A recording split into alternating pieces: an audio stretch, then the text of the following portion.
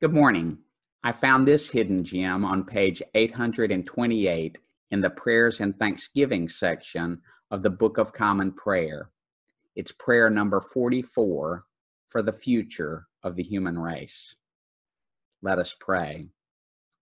O God, our Heavenly Father, you have blessed us and given us dominion over all the earth. Increase our reverence before the mystery of life and give us new insight into your purposes for the human race and new wisdom and determination in making provision for its future in accordance with your will. Through Jesus Christ our Lord. Amen. May we be good stewards of this fragile earth, our island home.